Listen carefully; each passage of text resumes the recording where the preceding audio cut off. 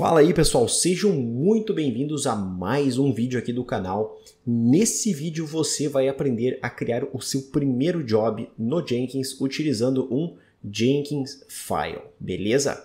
Então vamos lá. É, o que, que eu vou fazer aqui? Eu vou clicar é, em New Item, certo? Aqui nós podemos colocar Freestyle Project, Pipeline, se você quiser pode fazer uma Multi-Branch Pipeline também. Eu vou utilizar aqui uma pipeline normal e aqui nós vamos colocar como uh, K8S On-Premises Cluster, tá? Vamos clicar aqui em OK. Então criamos aqui a nossa, o nosso primeiro job. Se você for no dashboard, você vai conseguir ver a sua pipeline aqui, tá certo? Então clicando aqui, nós vamos clicar em Configure, tá? E em Configure uh, você tem aqui diversas opções que você pode estar tá personalizando, tá? O uh, que, que eu costumo fazer? Eu costumo utilizar aqui ou um pipeline script from SM, que seria para buscar por um Jenkins file, ou você pode utilizar uma pipeline direto aqui. Então, por exemplo, eu posso clicar aqui ó, em Try Sample Pipeline e vamos colocar só um Hello World aqui, simplão, tá? O que, que nós vamos fazer de diferente nessa pipeline, tá? Vamos colocar aqui, ó, Jenkins Docker Agent tá? Using Docker with Pipeline. Uh, quando você executa isso aqui num Jenkins normal, digamos assim, numa VM, esse agent, a pipeline, ela vai rodar, digamos, como um processo dentro da própria máquina virtual, dentro do próprio sistema. Existe um outro conceito que é utilizar essas pipelines dentro de containers Docker. Então, o Jenkins cria um container para a execução da pipeline, né? E o que é mais comum hoje também é a gente executar dentro de pods do Kubernetes, né, de forma escalável na nossa infraestrutura em cloud. Qual que é a grande vantagem de executar isso como um agent Docker, como você pode ver aqui? Você vai pegar um ambiente pronto. Então, digamos que eu tenha que executar um comando Node, como está aqui no exemplo. Se eu pegar a imagem do Node, é uma imagem que já vem pronta, é um ambiente imutável. Não tenho esse problema de ter que fazer configuração de ambiente ou correr o risco de que uma outra configuração na máquina virtual do Jenkins afete a execução do meu job, né? o que pode ocorrer. Então é, a pipeline ela fica de certa forma portável e imutável por conta do Docker, né? essencialmente. Então aqui no agent, tá? como você pode ver que está como N, tá? a gente pode, por exemplo, alterar isso aqui e ao invés de utilizar essa imagem do Node, tá?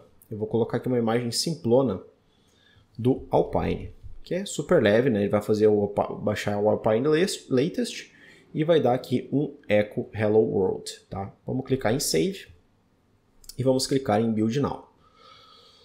Uh, você pode ver que ele vai... Opa, a gente teve algum erro aqui, vamos dar uma olhada.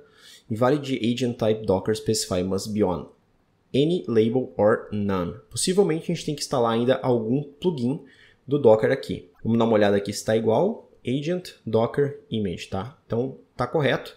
O que a gente vai fazer? Vamos aqui no Dashboard, vamos em Manage Jenkins, vamos em Plugins, como você pode ver aqui. Vamos clicar em Available Plugins e vamos pesquisar por Docker. E se você olhar aqui, Build and Use Docker Containers from Pipelines. Vamos clicar aqui e vamos dar um install, tá? Ele vai aqui embaixo ficar em pending, você pode marcar isso aqui para ele restartar o Jenkins. Eu particularmente não faço aqui, a menos que realmente seja necessário, tá? Então vamos lá, vamos no dashboard, vamos aqui, vamos clicar em build now. Bom, vamos clicar aqui na pipeline, você pode ver que ele já começou agora a executar corretamente. Então está fazendo o pull da imagem do Alpine, e aqui ele está fazendo a execução da nossa pipeline. Olha que interessante. Por trás dos panos, aquele agent Docker, o que, que ele faz? Ele dá um docker run "-t", "-d". Você pode ver que por padrão ele vai executar esse container com o ID 1000. Então, se você precisa que ele execute com outro usuário, talvez você tenha que sobrescrever isso aqui. É uma das coisas que a gente vai fazer depois na execução do Kubespray. Aqui ele altera qual que é o diretório que ele vai executar os comandos, né? Ele monta alguns volumes, declara aqui algumas variáveis ambiente. Então, isso, essencialmente é isso aqui que o, o nosso agent lá vai fazer. E aqui ele deu um hello world dentro do container que ele executou. Por, tar, por, tra, por trás dos panos, o que está acontecendo aqui? Deixa eu mostrar para vocês. É, eu vou aqui em docker ps, eu vou dar um docker exec -it no container do Docker Dind, tá? Se você der um Docker Images dentro desse container, você vai ver que ele tem a imagem do Alpine, que é justamente a imagem que a gente acabou de utilizar. Então, por exemplo, se você der aqui um watch um Docker PS, que ele vai ficar atualizando aqui em tempo real, tá? Deixa eu botar aqui ao lado. E aqui, deixa eu diminuir. Eu vou dar um build now e você vai ver que para execução, olha aqui, ó. É isso aqui que o Jenkins faz, tá? Então, ele, quando você roda a pipeline, o Jenkins vai start um container que vai startar no Dind e lá dentro ele vai executar os comandos da pipeline, beleza?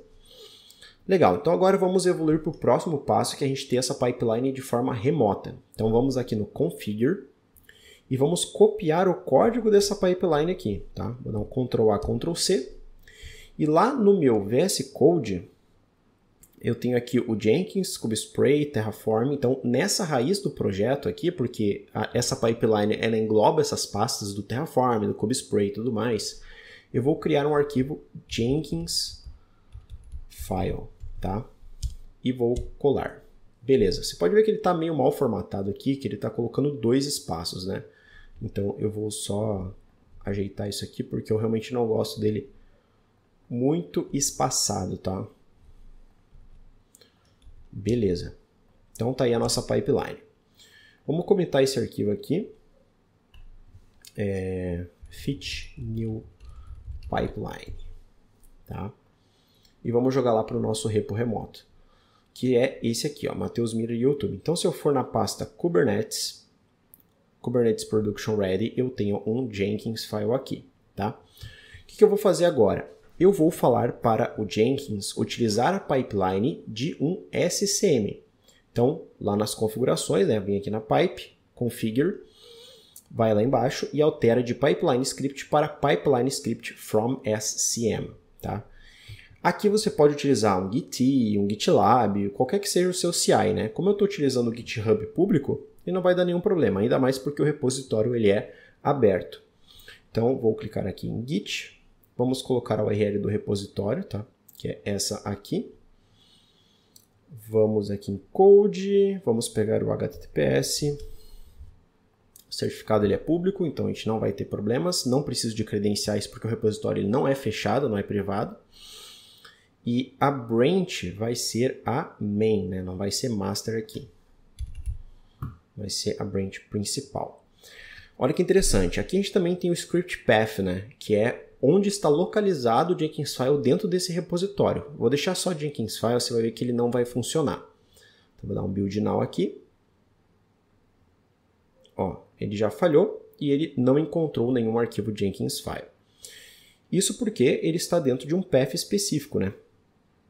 Então ele está dentro do Kubernetes e esse 02 aqui. Então, lá no nosso script path, nós vamos colocar Kubernetes, certo? Opa. Kubernetes barra esse 02 aqui barra Jenkins file, tá? Vamos dar um save e vamos dar um build now. Beleza? Então, olha só, running Jenkins, obtained uh, Jenkins file from Git, fez aqui já o checkout no nosso repositório remoto, né? Uh, e rodou aqui o nosso, a nossa pipeline com o Hello World, beleza? Então, dessa forma, agora a nossa pipeline ela está no GitHub. Qual que é a grande vantagem disso? O princípio de pipeline as code.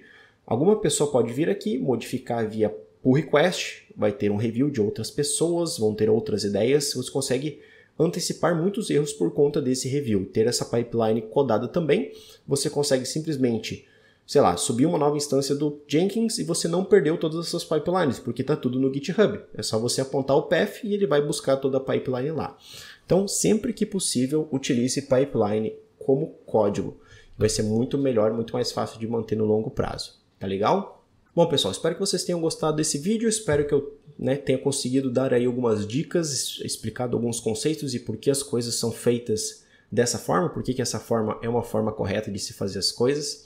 Se você gostou desse vídeo, deixa o like, deixa um comentário, se possível, comenta aí se você está curtindo é, a, essa sequência de vídeos, né, com projetos e tudo mais. E se possível, compartilha também, posta lá no LinkedIn, alguma rede social que vai ajudar bastante a divulgar mais esse conteúdo, tá bom? Um grande abraço e Chao.